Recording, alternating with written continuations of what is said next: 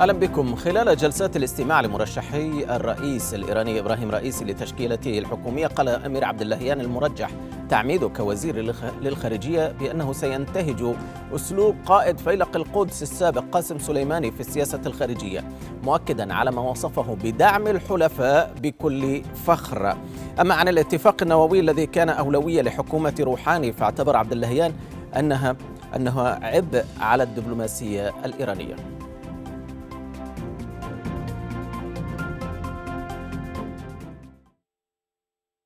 دعم الميليشيات أولوية لدى إيران. هذا ما أكده المرشح لمنصب وزير الخارجية الإيرانية أمير عبد اللهيان خلال جلسة النظر في أهليته بالبرلمان موضحا أنه سينتهج أسلوب قائد فيلق القدس السابق قاسم سليماني في السياسة الخارجية.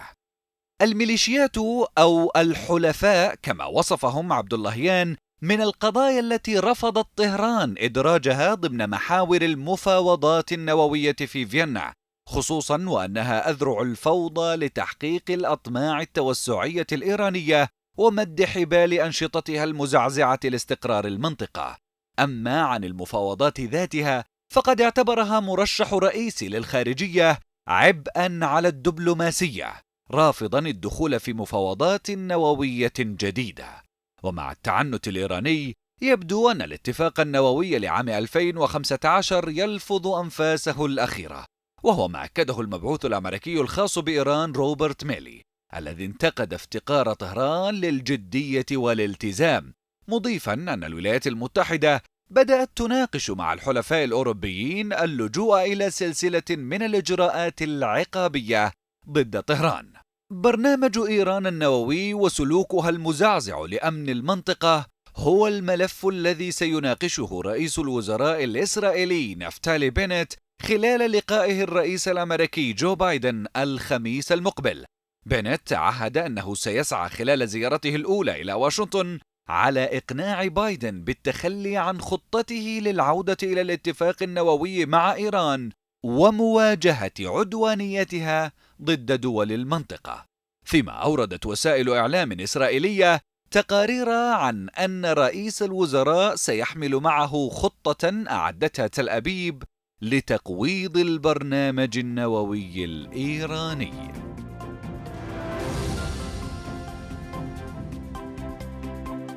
نظم إيرانيون معارضون مسيرة في العاصمة السويدية ستوكهولم للمطالبة بمحاسبة قادة النظام الإيراني عن الجرائم ضد الإنسانية في العام 1988 تأتي هذه المظاهرات في الوقت الذي يحاكم فيه المسؤول الإيراني السابق حميد نوري أحد منفذي مجزرة 88 في محاكمة بدأت الثلاثاء قبل الماضي. أعلنت وزارة الصحة الإيرانية وفاة 684 شخصا بفيروس كورونا خلال ال 24 ساعة الماضية وهو أعلى رقم معلن منذ بدء الجائحة. تجاوزت حصيلة الوفيات جراء كورونا في إيران 102 ألف شخص فيما سجلت الصحة الإيرانية أكثر من 36 ألف إصابة جديدة بكورونا وتعد إيران أكثر دول الشرق الأوسط تأثرا بالجائحة. قال اتحاد مصدري النفط والغاز الإيراني إن طهران استأنفت تصدير البنزين وزيت الغاز إلى أفغانستان قبل بضعة أيام بعد أن تلقت طلبا من حركة طالبان. وبحسب وكالة رويترز فقد بعثت طالبان برسائل إلى إيران تفيد بإمكانية مواصلة تصدير المنتجات البترولية. كما خفضت الرسوم الجمركية على واردات الوقود الإيرانية بنسبة تصل إلى 70%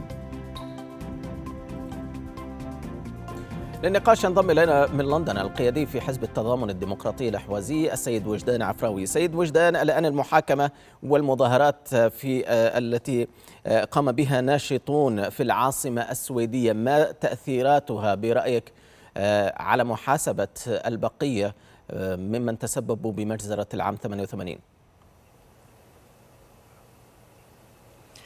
تحياتي لك ولمشاهديك الكرام أخي العزيز مفرح آه، اولا آه، لا ننسى بأن هذه المحاكمة تعد آه، الأولى من نوعها أن يحاكم مسؤول في القضاء الإيراني خارج الحدود الإيرانية وشخص بمستوى نوري. وهذا يعد إنجاز بالنسبة للحراك اللي موجود في الخارج والأطراف التي استطاعت أن يعني تجلب نوري إلى إلى السويد ليتم محاكمته.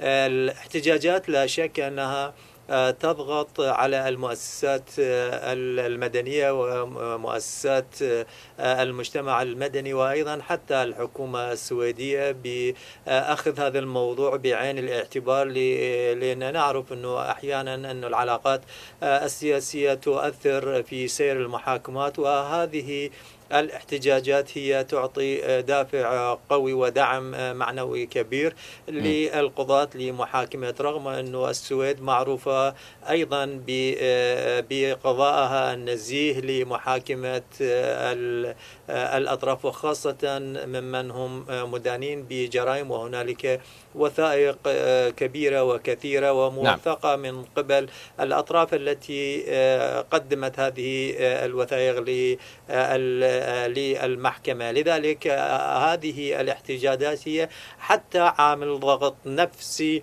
على حميد نوري نفسه والذي كان يشتكي من هذه التظاهرات وهي تضغط عليه نفسيا أكثر. أبقى معي سيد وجدان سأعود إليك. سياسة التناقضات التي تتبعها إيران ربما أفادتها في الماضي ولكنها لم تعد مجدية. باتت طهران تواجه تهديدا بالمزيد من العقوبات الأمريكية والأوروبية. نتابع.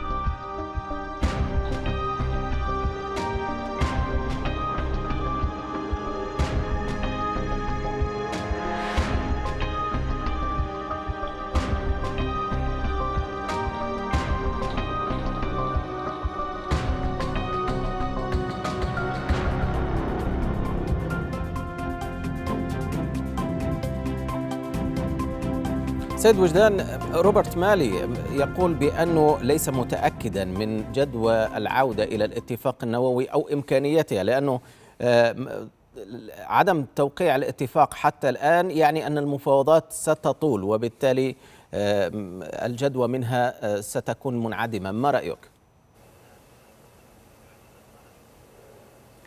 اولا ما تفضل به أو ما صرح به روبرت مالي فيما يتعلق بموضوع المفاوضات النووية. لا شك أنه هنالك تبادل استخباراتي ما بين إسرائيل وما بين الولايات المتحدة الأمريكية وأيضا الولايات المتحدة لديها استخبارات قوية تستطيع الحصول على معلومات من الداخل بما فيها إسرائيل اللي هي المتمكنة بشكل كبير مما يحصل في داخل إيران. لذلك هنالك بعض المعلومات تشير بأنه إيران بالفعل هي مصرة على إنتاج اليورانيوم بنسب عالية بنسبة 60% وأيضا تعدين اليورانيوم والاحتفاظ بأجهزة طرد مركزية متطورة.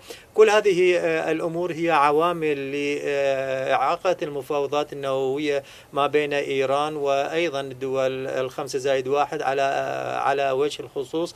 الولايات المتحدة الأمريكية ولهذا أنه المعروف الولايات المتحدة سوف لن تقبل بأن إيران تقوم باستمرار بتطوير اليورانيوم وتقصيبه بهذه النسب العالية أو تعدين اليورانيوم أو حتى احتفاظ بأجهزة طرد مركزية متطورة. وعلى هذا الأساس أنه روبرت مالي يجد بأنه المفاوضات مع الجانب الإيراني هي لا جدوى لها ولا يمكن للولايات المتحدة القبول بهذه المطالب. وأيضا إيران سوف لن توافق على الولايات المتحدة الأمريكية بمفاوضات دون أن ترفع الولايات المتحدة الأمريكية العقوبات لكن لا يبدو لك سيد وجدان الموقف الأمريكي و... متناقضا وغير واضح عندما يقول بأن هناك خيارات أخرى منها توقيع اتفاق جديد بخلاف الذي سينتهي في العام 2030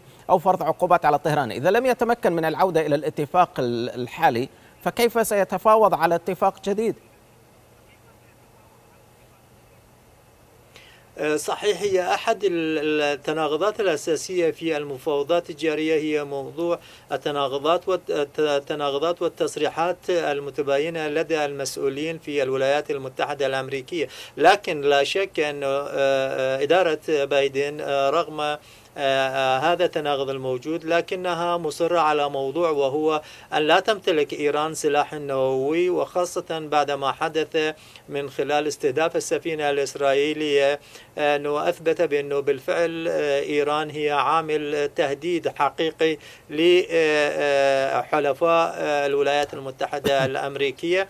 ولذلك أنه الولاية أنه إدارة بايدن هي بالفعل مصرة أن لا تمتلك إيران السلاح النووي ونحن نعرف تماما أنه من خلال تحمل إيران لكل هذه العقوبات يدل بأنه إيران هي بالفعل لديها نية الوصول إلى القنبلة النووية والسلاح النووي. وهناك من المشكلة الولايات المتحدة أيضا لديها هنالك بعض الإجراءات يمكن أن تتخذها اتجاه إيران. وأعتقد أنه سكوت إسرائيل وعدم الرد الإسرائيلي على إيران بعد استهداف السفينة الإسرائيلية الذي كان من المفترض أن تقوم إسرائيل وهي معروفة أيضا بردها السريع على الاعتداءات التي تطال مصالحها الاقتصادية أو أمنها أو مواطنيها.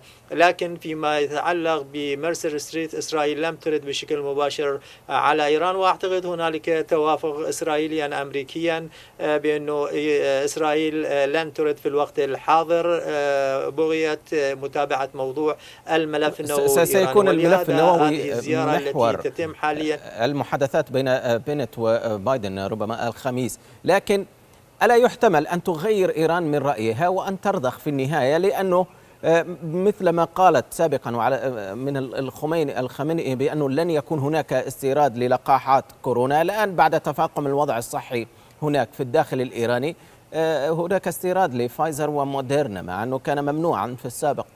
تغير؟ صحيح. هذا هذا موضوع جدا مهم أخ مفرح وأيضا هنالك بعض المعلومات أو التصريحات التي تمت من بعض المسؤولين. لأن هنالك قرف على الكلاب هاوس وهنالك مسؤولين كبار في النظام الإيراني تحدثوا بأنه بالفعل ايران لديها نية التفاوض وأيضا حتى التنازل عن بعض العقوبات المفروضة على بعض المسؤولين الإيراني لكن المشكلة تكمن في إيران. نحن نعرف أنه نظام أيديولوجي منذ منذ تأسيس وهو قام بقلاقل وأيضا إنشاء مجموعات إرهابية في دول المنطقة. وإيران يريد الاحتفاظ ب هذه المجموعات والميليشيات الموالية لإيران على أساس أيديولوجي وولائي للنظام الإيراني إضافة إلى ذلك الاحتفاظ بموضوع الصواريخ. وهذا لا يمكن توافق عليه الولايات المتحدة الأمريكية ولا يمكن أن توافق عليه الدول الغربية. يعني إيران مستعدة أن تتنازل وهذا وفق بعض التسريبات اللي تحصل. إيران مستعدة حتى تقبل بموضوع العقوبات على بعض الشخصيات وأيضا الكيانات لكن موضوع تدخلات إيران في المنطقة وخاصة بعد حادث مير ميرسر ستريت أيضا لا شك سيؤثر بشكل كبير على موضوع سير المفاوضات. وأعتقد أنه موضوع وضحت. تدخلات إيران في المنطقة وموضوع الصواريخ ستكون أساسية. شكرا جزيلا لك سيد وجدان عفراوي القيادي في حزب التضامن الديمقراطي الأحوازي. كنت معنا من لندن.